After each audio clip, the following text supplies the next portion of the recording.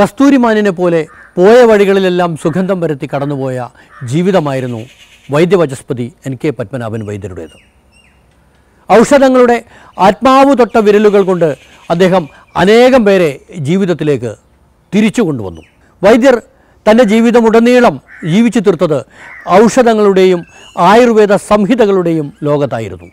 അദ്ദേഹത്തിന്റെ മക്കളും അതേ വഴിയിലൂടെ തന്നെയാണ് സഞ്ചരിക്കുന്നത്. അച്ഛൻ കാണിച്ചു തന്ന അതേ വഴിയിലൂടെ. വൈദ്യവചസ്പതി പത്മനാഭൻ വൈദ്യർ ഇന്നില്ലെങ്കിലും അനേകം പേരുടെ മനസ്സുകളിലൂടെ അദ്ദേഹം ഇന്നും ജീവിക്കുകയാണ്.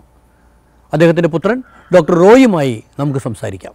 ഡോക്ടറുടെ അച്ഛൻ എൻ കെ പത്മനാഭൻ വൈദ്യരെ കുറിച്ച് ഓർക്കുമ്പോൾ നമുക്ക് ആദ്യം ഏറ്റവും ആദ്യം ഓർക്കേണ്ട കാര്യം എന്ന് വെച്ചാൽ ടെസ്റ്റുകളായ ടെസ്റ്റുകളൊക്കെ കഴിഞ്ഞ് മരണ സർട്ടിഫിക്കറ്റ് കൊടുത്ത ഒരുപാട് പേരെ ജീവിതത്തിലേക്ക് തിരിച്ചു കൊണ്ടുവന്ന ഒരു മഹത് വ്യക്തിത്വമാണ് അദ്ദേഹത്തിന്റെത്.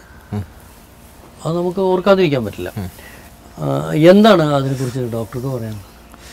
അതിപ്പം ആയുർവേദത്തിന് എല്ലാം ഒരു ക്യൂറേറ്റീവ് ആസ്പെക്റ്റിലുള്ള ട്രീറ്റ്മെന്റാണ് അലോപ്പതി ആണെങ്കിൽ ഒരു സിംറ്റമാറ്റിക് മാനേജ്മെന്റ് ട്രീറ്റ്മെന്റ് മാനേജ് ചെയ്ത് മാനേജ് ചെയ്ത് അതിന്റെ ഒരു ലിമിറ്റേഷൻ കഴിയുമ്പോഴാണ് അവർ പറയും ഇനി രക്ഷയില്ല. അപ്പോഴായിരിക്കും സാധാരണ രീതിയിൽ പേഷ്യൻസ് നമ്മുടെ അടുത്ത് വരിക.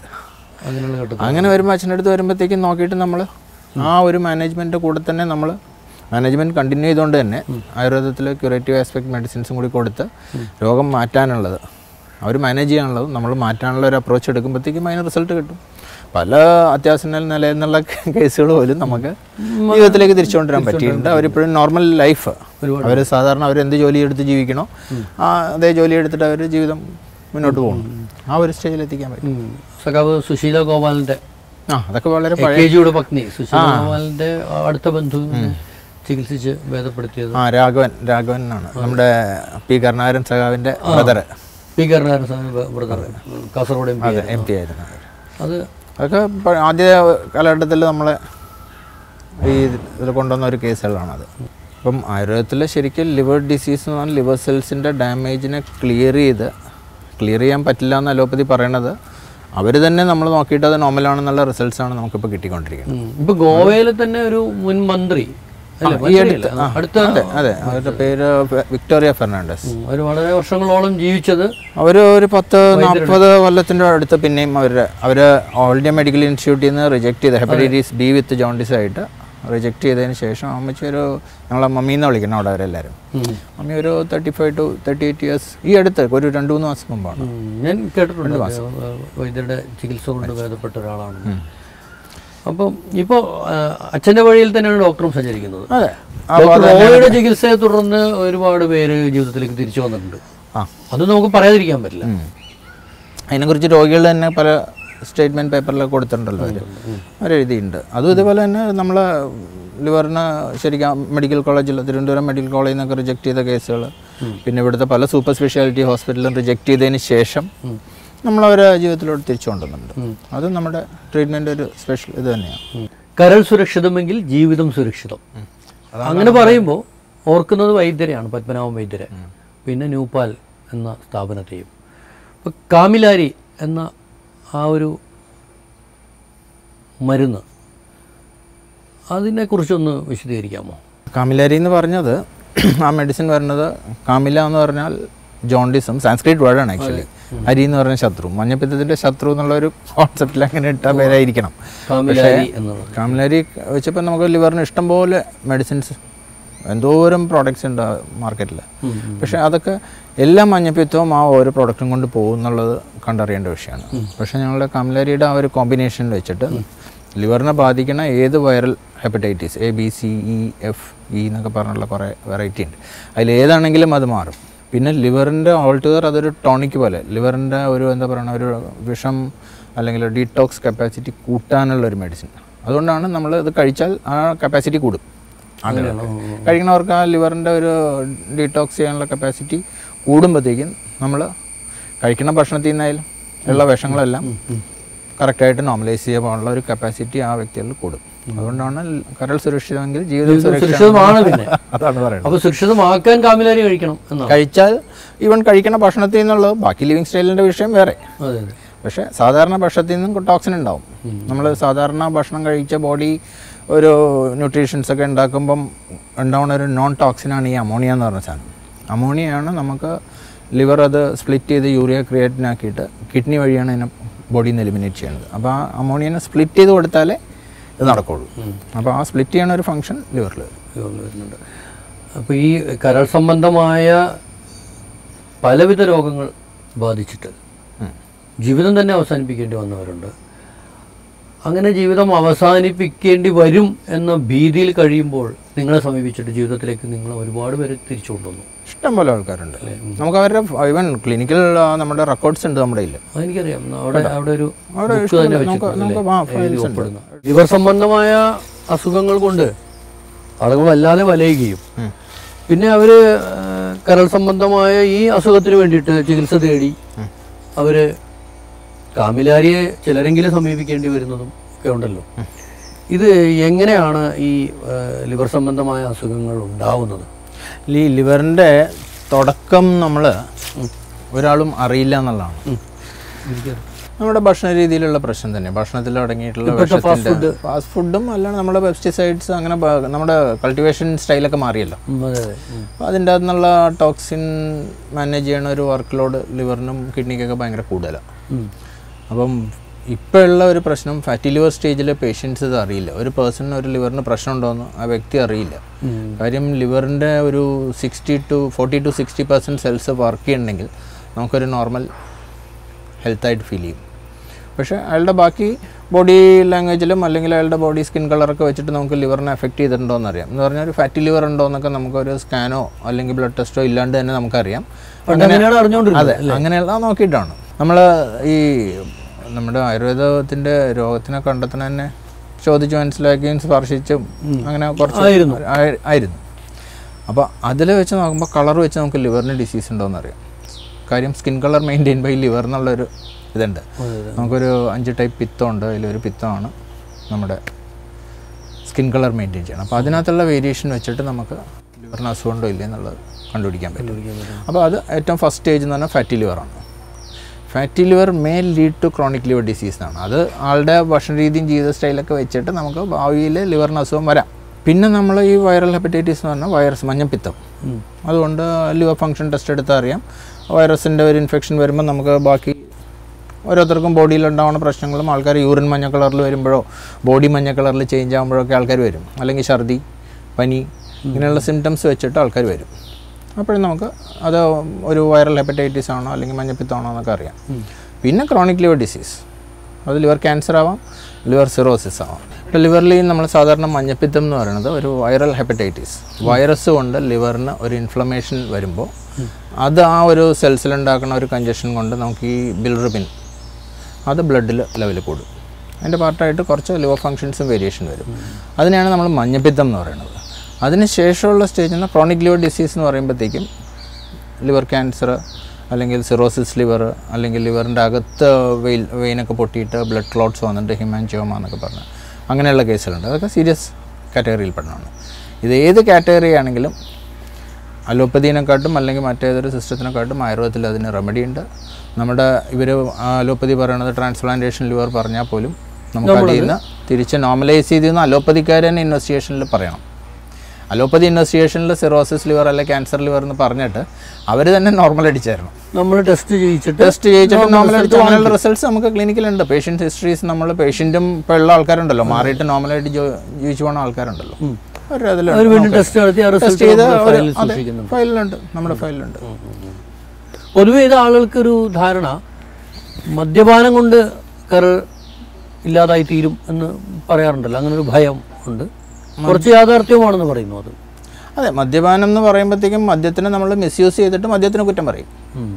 അമിത മദ്യപാനം. അമിത മദ്യപാനം. അമിതം ആണ് പ്രശ്നം. അതിന്റെ കൂടെ ബീഫും അമിതമായ അതെ കൂടിയാൽ അമൃതം വിഷം എന്നുള്ളൊരു കോൺസെപ്റ്റേ ഉള്ളൂ.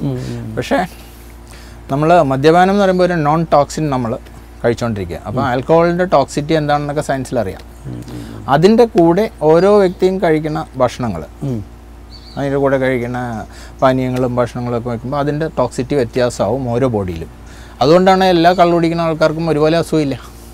ഇല്ല ഉം. ചിലപ്പോൾ ഒരു ഡ്രിങ്ക്സ് കഴിച്ചുകൊണ്ടിരിക്കുന്ന ആൾക്ക് അസുഖം വരാം. കുപ്പിക്കണക്കിന് കഴിക്കുന്നതിന് അസുഖം ഉണ്ടാവില്ല. അത് ആ വ്യക്തിയുടെ ലിവറിന്റെ കപ്പാസിറ്റിയും അയാളുടെ ജീവിത രീതിയും തന്നെയാണ്. അയാളുടെ സാധാരണ അവരുടെ ഇമ്മ്യൂണിറ്റി പവർ എന്ന് പറയാം. അത് ശരിക്കും ഇപ്പോൾ ലിവറിനെ ബേസ് ചെയ്തിട്ടാണ് ഇമ്മ്യൂണിറ്റി പവർ കിട്ടുന്നത്. ഇതൊക്കെയാണ് ലിവറിൽ നമുക്ക് എന്തായാലും അലോപ്പതിനെക്കാട്ടൊക്കെ ബെറ്റർ ആയിട്ട് നമുക്ക് ഒരു ചെയ്യാൻ കഴിയും. ചെയ്തുകൊണ്ടിരിക്കുന്നു, ചെയ്തുകൊണ്ടിരിക്കുന്നു. ഇപ്പോഴും നമുക്ക് പേഷ്യൻസ് മിക്കവാറും എല്ലാം അലോപ്പതി ഹോസ്പിറ്റൽ റിജക്ട് ചെയ്ത് കഴിഞ്ഞിട്ടാണ് നമ്മുടെ അടുത്ത് വരണമെന്ന് മാത്രമേ ഉള്ളൂ. പൊതുവേ കേരളത്തിന് പുറത്തുനിന്ന് പോലും ധാരാളം പേഷ്യൻസ് നമുക്ക് round world round world patients ഉണ്ട്. നിങ്ങളുടെ ഇപ്പം ന്യൂബാൽ റെമഡീസിന്റെ മരുന്നുകൾ കേരളത്തിൽ വിറ്റഴിക്കപ്പെടുന്നതിനേക്കാൾ ധാരാളമായിട്ട് കേരളത്തിന് പുറത്തും ഇന്ത്യയ്ക്ക് പുറത്തും വിറ്റഴിക്കപ്പെടുന്നുണ്ട്. അല്ല ഇന്ത്യ തന്നെയാണ് നമ്മുടെ മെയിൻ മാർക്കറ്റ് Main എന്നാലും നമുക്ക് പുറത്ത് പേഷ്യൻസ് ഉണ്ട് പിന്നെ യു എ നമുക്ക് ലൈസൻസ് ഉണ്ട് ആസ് എ മെഡിസിൻ നമുക്ക് ലൈസൻസ് ഉണ്ട്. നമ്മൾ യു എ ഗവൺമെന്റ് അപ്രൂവ്ഡ് ഉണ്ട്. ആയുർവേദം herbal medicine as a medicine approval കിട്ടിയേക്കണം നമുക്കാണ്. ഇന്ന് ആയുർവേദ രംഗത്ത് നിരവധി മാറ്റങ്ങൾ വന്നുകൊണ്ടിരിക്കുന്ന ഒരു സാഹചര്യമാണ്.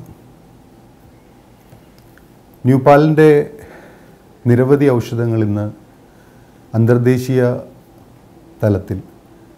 നിരവധി മിനിസ്ട്രി ഓഫ് ഹെൽത്തുകൾ ആരോഗ്യ മന്ത്രാലയങ്ങൾ അംഗീകാരം നൽകിയിട്ടുണ്ട്. ഇന്നും കേരളത്തിൽ നിന്ന് നമ്മളുടെ മിഡിൽ ഈസ്റ്റിൽ മലയാളികൾ നിരവധി വസിക്കുന്ന നമ്മളുടെ മിഡിൽ ഈസ്റ്റിൽ അവരുടെ ആരോഗ്യ മന്ത്രാലയം അംഗീകരിച്ചിട്ടുള്ള ഔഷധങ്ങൾ വളരെ കുറവാണ്. എന്നാൽ ന്യൂപാലിന്റെ പതിനാലോളം ഔഷധങ്ങൾ മിനിസ്ട്രി ഓഫ് ഹെൽത്തിന്റെ അംഗീകാരം നേടിയിട്ടുണ്ട്. അതുപോലെ തന്നെ സൗത്ത് ഈസ്റ്റ് ഏഷ്യൻ കൺട്രീസായ കംബോഡിയ വിയറ്റ്നാം ഉക്രൈൻ അങ്ങനെ നിരവധി രാജ്യങ്ങളിൽ നമ്മളുടെ ഔഷധങ്ങൾ ആരോഗ്യ മന്ത്രാലയത്തിന്റെ അംഗീകാരം നേടിയിട്ടുള്ളതാണ്.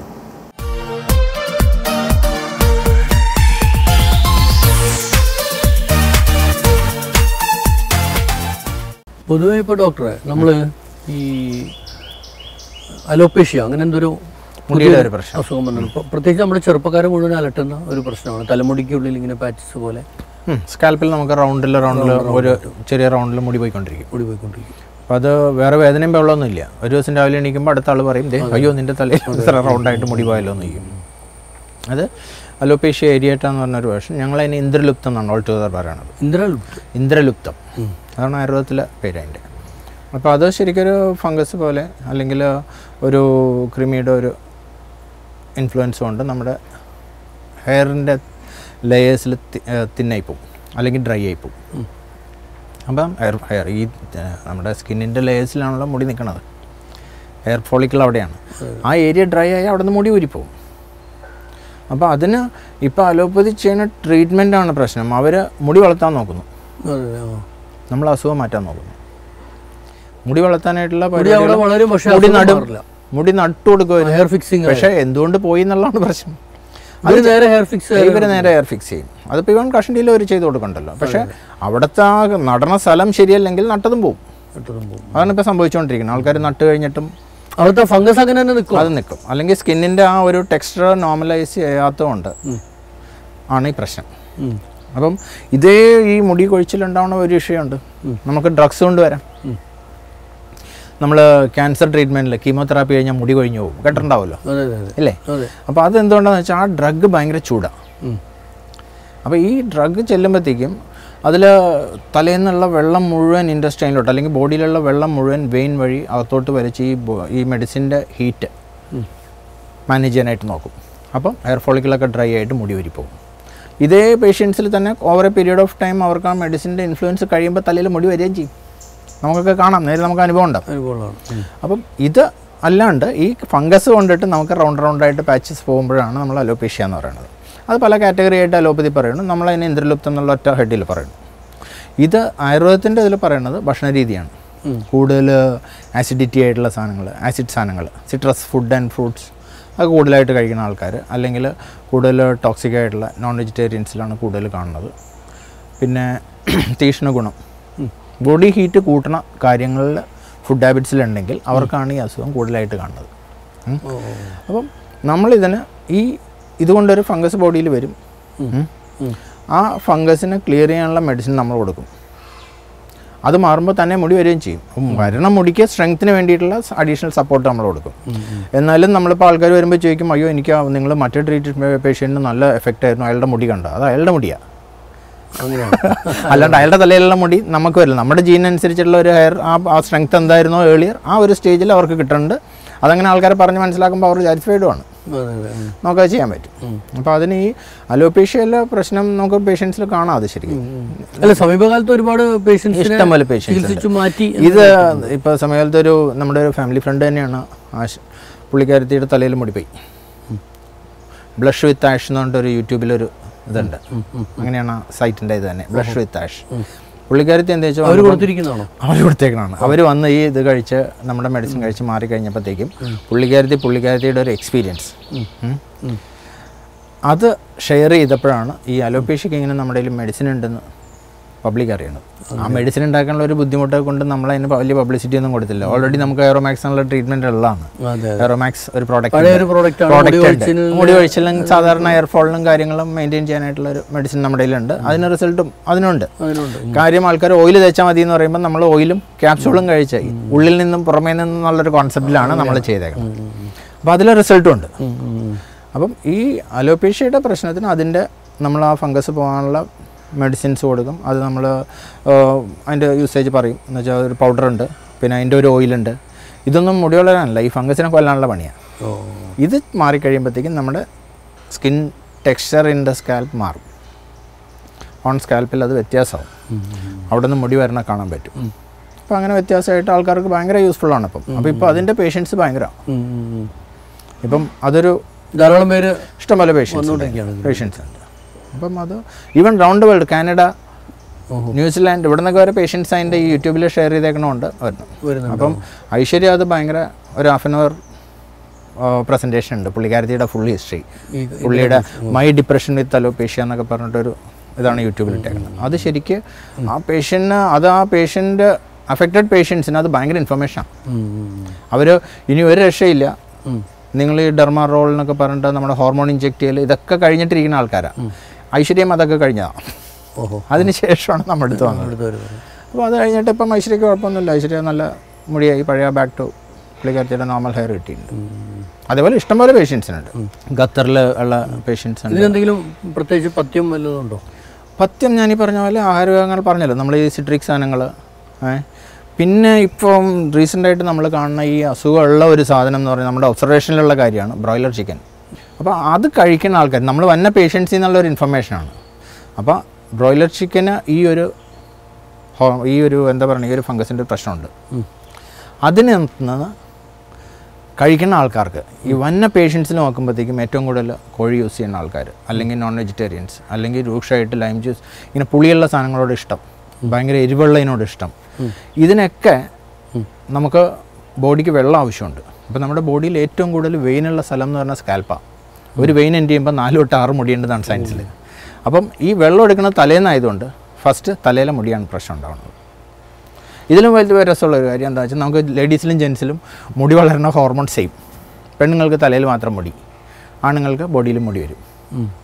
അതിന് നേച്ചറിലുള്ള ഒരു പ്രശ്നം കാരണം നമ്മൾ ആ ഒരു ഫെസിലിറ്റി എല്ലാ പെണ്ണുങ്ങൾക്ക് മന്ത്ലി പീരീഡ്സ് വരുമ്പോൾ അവരുടെ ഹോർമോൺ ബാലൻസ്ഡ് ആയിരിക്കും. അതുകൊണ്ട് അവർക്ക് തലയിൽ മാത്രം മുടി വരും ബോഡിയിൽ വരാറില്ല. ഇനി പെണ്ണുങ്ങളിൽ ഇതിനെ ഡിസ്റ്റർബ് ചെയ്യണ എന്തെങ്കിലും ഗൈനക് പ്രോബ്ലം ഉണ്ടെങ്കിൽ ഹോർമോൺ പ്രോബ്ലം ഉണ്ടെങ്കിൽ ഇപ്പോൾ പീരീഡ്സ് നോർമൽ അല്ല അല്ലെങ്കിൽ തൈറോയ്ഡ് പ്രശ്നം. ഇങ്ങനെയുള്ള ഇഷ്യൂ ഉണ്ടെങ്കിൽ അവർക്കും മുടി പോകും ബോഡിയിൽ മുടി അവർക്ക് വരികയും ചെയ്യും. അങ്ങനെയുള്ള കേസുകൾ നമുക്ക് വന്ന പേഷ്യൻസിൽ നിന്ന് കിട്ടുന്ന ഇൻഫർമേഷൻ വെച്ച് നോക്കുമ്പോൾ ഇതിനെയൊക്കെ ഡിസ്റ്റർബ് ചെയ്യുന്ന ഒരു ഫുഡ് ഹാബിറ്റ്സ് ആണ് ഇപ്പം. നമ്മൾ ഈ ഒരു ഫാസ്റ്റ് ഫുഡ് എന്ന് പറയുമ്പോഴത്തേക്കും ഇത്. അതുകൊണ്ടായിരിക്കണം ഇങ്ങനെയുള്ള ഈ മുടി വളർച്ച മുടിയുടെ പ്രശ്നങ്ങളൊക്കെ കൂടുതൽ ഈ ഒരു നോൺ വെജിറ്റേറിയൻ ഫുഡ് ഹാബിറ്റ്സ് ഉള്ള ആൾക്കാർക്ക് കൂടുതലും വളരെ അപൂർവമായിട്ട് വെജിറ്റേറിയൻസിലുണ്ട് പക്ഷേ അവർ രാവിലെ ചിലപ്പം വന്ന പേഷ്യൻസോട് ഇരിക്കുമ്പോൾ അവർ രാവിലെ ചായക്ക് വരുന്ന ലൈം ജ്യൂസ് വിലയ്ക്ക് കുടിക്കും. അപ്പം ആ ഒരു പുള്ളിയുടെ സാധനമല്ലേ ഇപ്പോൾ ഇഡലി ദോശ റെഗുലർ കഴിക്കുന്ന ആൾക്കാർ അതും ഒരു സിട്രിക് സാധനമാണ്. അപ്പം ഈ സിട്രി ഇഡലി ദോശയിലുള്ള ഒരു പ്രശ്നം എന്താ പറയുക നമ്മൾ ഉഴുന്നോ ഉലുവ ആഡ് ചെയ്യാണ്ട് ഇഡലി ഉണ്ടാക്കാൻ പറ്റില്ല. അരിയുടെ മാവിൽ അല്ലെങ്കിൽ അരി ആട്ടുമ്പോൾ ഉഴുന്നും ഉലുവയും കൂടി ഇട്ടിട്ടാണ് ചെയ്യുന്നത് ഓക്കെ ഈ ഉഴുന്നും ഉലുവയുടെയും ക്വാളിറ്റി എന്താണെന്ന് വെച്ചാൽ ഈ അരിമാവിനെ വീർപ്പിക്കാൻ പറ്റും. ഓക്കെ അരി മാത്രം നമ്മൾ നനച്ച് പുട്ടുണ്ടാക്കുമ്പോൾ വീർക്കില്ല വീർക്കില്ല ഇല്ലേ? അപ്പോൾ ഈ ഒരു സാധനം വെച്ചാൽ ഒരു ഹോർമോൺ വിഷയമാണത് ഈസ്ട്രജൻ ഹോർമോൺ കൂടുതലുണ്ടാവും ഉഴുന്നിട്ടിട്ടുണ്ടെങ്കിൽ അല്ലെങ്കിൽ ഉലുവ ഉണ്ടെങ്കിൽ. അപ്പോൾ അതുകൊണ്ടാണ് ഇഡലി വീർക്കണത് അല്ലെങ്കിൽ ദോശ വീർക്കണത്. കേൾക്കുന്നതുകൊണ്ടാണ് അപ്പോൾ ഈ ഒരു സാധനം നമുക്ക് ബോഡിയിൽ റെഗുലർ നമ്മൾ ഫുഡ് ഹാബിറ്റ്സിൽ വന്നാൽ നമ്മുടെ തലേന്ന് വെള്ളം കൂടുതൽ ഇൻഡസ്ട്രിയിലോട്ട് എടുത്തിട്ടാണ് ലിവറിന്റെ മെറ്റബോളിക് ഫംഗ്ഷനാണ് അത് ആക്ച്വലി നമുക്ക് ആസിഡ് നേച്ചർ കൂടുതൽ ബോഡിയിൽ വരികയാണെങ്കിൽ നമ്മളത് അല്ല ഈ ദോശ ഇഡ്ഡലി സ്ഥിരമായി കഴിച്ചാൽ ഇതുണ്ടാവും കഴിച്ച ആൾക്ക് വളരെ അപൂർവമായിട്ട് ദോശ ഇഡ്ഡലിയും ചിക്കനും കൂടിയാണ് ഇപ്പോൾ ആൾക്കാർ കഴിക്കുന്നത് ഇത് മൂന്നാണ്. ഇപ്പം നമ്മൾ കാലിക്കട്ട് അല്ലെങ്കിൽ മലപ്പുറം ഒക്കെ ചെന്ന് കഴിഞ്ഞാൽ രാവിലെ ബ്രേക്ക്ഫാസ്റ്റിന് എന്താ തട്ടുന്നത് അല്ല റെഗുലർ ആയാലാണ് പ്രശ്നം. അതാണ് അതിന്റെ പ്രശ്നം. ഈ നമ്മൾ ഫുഡ് ഹാബിറ്റ്സിലാണ് ഇതിന്റെ ഒരു വിഷയം. അപ്പോൾ അത് ചേഞ്ച് ചെയ്തിട്ട് നമ്മുടെ ഈ ഒരു മെഡിസിൻ യൂസ് ചെയ്യുമ്പോഴത്തേക്കും അലോപീഷ്യ കംപ്ലീറ്റ് ആയിട്ട് മാറുന്നുണ്ട്. ഇനിയും അതിന്റെ അകത്തുള്ള ഞാൻ പേഷ്യൻസിനോട് പറയാറുള്ളത് ഈ അലോപീഷ്യ ഇനി തിരിച്ചു വരുമോ ഇല്ലേ? സാധാരണ ആൾക്കാർ ചോദിക്കും. എങ്ങനെ അറിയും? ഒരു ബ്ലഡ് ടെസ്റ്റ് എടുത്താലോ? സ്കാൻ ചെയ്താലോ? അറിയില്ല. അപ്പോൾ നമ്മൾ പറയും നമ്മുടെ ഈ ഓയിൽ നിങ്ങളൊരു വൺ ഇയർ എങ്കിലും മാറിക്കഴിഞ്ഞാലും അത് യൂസ് ചെയ്യുക. അതിനുശേഷം നിങ്ങൾ നോർമൽ നിങ്ങളുടെ ഡേ ടു ഡേ ലൈഫ് സ്റ്റൈലിലോട്ട് മാറിക്കൊള്ളുക എന്നാലും ഓരോ അഡ്വൈസ് ചെയ്യണം ഡയറ്റ് സ്ട്രിക്റ്റ് ആയിട്ട് ഫോളോ ചെയ്യാൻ പറയും. അപ്പോൾ നമുക്ക് ആ മുടിയുടെ പ്രശ്നം. ഞാൻ ഏതാണ്ട് ഒരു കാൽ നൂറ്റാണ്ട് മുമ്പ് ദൂരദർശന് വേണ്ടിയിട്ട് പത്മനാഭൻ വൈദ്യരെ അഭിമുഖം ചെയ്തിരുന്നു. അന്ന് പറഞ്ഞ ഒരു കാര്യം അദ്ദേഹം പറഞ്ഞൊരു കാര്യം എന്റെ ഓർമ്മയിലേക്ക് വരും. കാരണം ഒരു ക്രിസ്ത്യൻ പുരോഹിതനെ അദ്ദേഹം ചികിത്സിച്ച് ഭേദമാക്കി. അപ്പോൾ ജീവിതം കൈവിട്ടു പോയി എന്ന് കരുതിയിരുന്ന പല ടെസ്റ്റുകളൊക്കെ നടത്തി വിധി എഴുതപ്പെട്ട ഒന്നായിരുന്നു. എന്റെ ഓർമ്മ ശരിയാണ്. പുള്ളിനെ ഇറ്റലിയിൽ നിന്ന് ഡീപ്പോർട്ട് ചെയ്ത. അതെ അതെ. ഇറ്റലിയിൽ നിന്ന് വരെ വന്ന റോമിലായിരുന്നു തോന്നുന്നു. അപ്പോൾ അദ്ദേഹം പറഞ്ഞത് ഞാൻ ഈ മനുഷ്യനിൽ ഒരു ചെറിയ ക്രിസ്തുവിനെ കണ്ടു എന്നാണ് ആ ക്രിസ്ത്യൻ പുരോഹിതൻ പേര് ഫാദർ ത്യാഗരാജൻ. യെസ് ഞാൻ പേര് മൂവാറ്റുവഴി അവിടെ ഉണ്ട് ആശൻ. അതെ. അപ്പോൾ ഞാൻ ഈ മനുഷ്യനിൽ ചെറിയൊരു ക്രിസ്തുവിനെ കണ്ടു എന്ന് ആ പുരോഹിതൻ പറഞ്ഞപ്പോൾ വൈദ്യർ പറഞ്ഞത് എന്റെ കർമ്മം ഞാൻ ചെയ്യുന്നു അത്രേ ഉള്ളൂ എന്നാണ് പറഞ്ഞത്. ഇപ്പോ ഇപ്പോൾ വൈദ്യരുടെ വഴിയെ വൈദ്യരുടെ മക്കളും അവരവരുടെ കർമ്മങ്ങളിൽ കർമ്മനിരതരായി മുന്നോട്ട് പോവുകയാണ്. വളരെ സന്തോഷം ഇപ്പോൾ കാമിലാരിക്ക് ശേഷം. അതിൽ അച്ഛൻ നമ്മളോട് ഒരു പേഷ്യന്റിനെ ട്രീറ്റ് ചെയ്യുമ്പോഴത്തേക്ക് അച്ഛൻ പറയാറുണ്ടെന്ന് പറയും നമുക്ക് ഒരിക്കലും ഐസ് കൊടുക്കാൻ പറ്റില്ല. നമുക്ക് വരുന്ന അദ്ദേഹം പ്രോബ്ലത്തിന് ശരീര ഇതിനുള്ള റെമഡി കൊടുക്കാൻ പറ്റും. അത് പറ്റും. അപ്പം നമ്മളത് ഒരാളെ ട്രീറ്റ് ചെയ്ത് പുള്ളി നോർമൽ ലൈഫിലോട്ട് വരണ്ടെങ്കിൽ അതിനടുത്ത് അവന്റെ ആയുസ് നീട്ടി കിട്ടി. അപ്പോൾ അതുകൊണ്ട് നമ്മൾ ആയുസുള്ളവനെ നമ്മുടെ അടുത്ത് വരുമ്പോഴത്തേക്കും രക്ഷപ്പെടുള്ളൂ. അല്ലാണ്ട് വേറെ വൈദ്യന്മാർ അതിനുള്ളൊരു മാർഗം മാത്രമാണ്. മാർഗം അല്ലേ? യഥാർത്ഥ ആയുസ് നിശ്ചയിച്ചിടത്തോളം എത്തിക്കാനുള്ളൊരു ഇതേ ഉള്ളൂ. അപ്പോൾ അച്ഛൻ എപ്പോഴും അത് പറയുമ്പോൾ നമ്മൾ എന്ന് പറഞ്ഞാൽ നമ്മളൊരു പേഷ്യന്റിനെ ട്രീറ്റ് ചെയ്ത് മാറി എന്ന് പറഞ്ഞാൽ നമ്മൾ അധികം ബലം ഒരു അഹങ്കാരം വേണ്ട അഹങ്കാരം വേണ്ട ശരി ഓക്കെ. ന്യൂപാലിന്റെ കാമിലാരി എന്ന ഔഷധം ഇതിനോടകം മലയാളികൾക്കെല്ലാം സുപരിചിതമാണ്. പത്മനാഭൻ വൈദ്യരുടെ മകൻ ഡോക്ടർ റോയി ഇന്ന് കരൾ ചികിത്സാ രംഗത്ത് വളരെ വൈദഗ്ധ്യം തെളിയിച്ചു കൊണ്ടിരിക്കുന്ന ഒരു വ്യക്തിയാണ്. നിരവധി ആളുകളെ നമ്മൾ നമുക്ക് അവരുടെ അവരെ രക്ഷിക്കുവാൻ സാധിച്ചിട്ടുണ്ട്. അതുപോലെ തന്നെ ഇപ്പോൾ ഒരു പുതിയ മേഖല വന്നിരിക്കുന്നത് അലോപേഷ്യ എന്ന് പറയുന്ന ഒരു പ്രത്യേക തരത്തിലുള്ള മുടികൊഴിച്ചിൽ നിരവധി ആളുകളിൽ കണ്ടുവരുന്നുണ്ട്. അതൊരു ഡിസീസ് ഓറിയന്റഡ് ആയിട്ടുള്ള ഐ തിങ്ക് ഒരു ലൈഫ് സ്റ്റൈൽ ഡിസീസായി മാറിക്കൊണ്ടിരിക്കുകയാണ്. ഇപ്പോൾ ഇന്ന് നമ്മളുടെ ക്ലിനിക്കിൽ നിന്ന് നിരവധി ആളുകൾക്ക് പ്രയോജനകരമാവും വിധം ഈ ഒരു അലോപേഷ്യക്കുള്ള ചികിത്സ ഡോക്ടർ റോയി വളരെ വിദഗ്ധമായ രീതിയിൽ നൽകിക്കൊണ്ടിരിക്കുന്നു. ഈ കരൾ രോഗ ചികിത്സയിൽ വിജയം കൈവരിച്ച പോലെ തന്നെ നമ്മുടെ അലോപേഷ്യക്കുള്ള ഈ ട്രീറ്റ്മെന്റും ഒരു ബ്രേക്ക് ത്രൂ ആയി മാറുമെന്ന് എനിക്ക് ഉറപ്പുണ്ട്. ടെസ്റ്റുകളായ ടെസ്റ്റുകളൊക്കെ കഴിഞ്ഞ് ജീവിതം എഴുതി തള്ളപ്പെട്ടവർക്ക് ജീവിതം തിരിച്ചു കിട്ടുമ്പോൾ അത്ഭുതം കൂറുമ്പോൾ പത്മനാഭൻ വൈദ്യർ പറയാറുണ്ട് ഞാനൊരു മഹാത്ഭുതമല്ല. ഞാൻ മാന്ത്രികനുമല്ല. എന്റെ കടമ ഞാൻ ചെയ്തു എന്ന്. ഔഷധങ്ങളുടെ ആത്മാവ് തൊട്ട പത്മനാഭൻ വൈദ്യരുടെ ആത്മാവിന്റെ വിരലുകൾ തൊട്ട കരസ്പർശനങ്ങളുമായി അദ്ദേഹത്തിന്റെ മക്കൾ അദ്ദേഹത്തിന്റെ ഔഷധങ്ങളുടെ വഴിയിലൂടെ സഞ്ചരിക്കുകയാണ്. അവർക്ക് നമുക്ക് വിജയം ആശംസിക്കാം.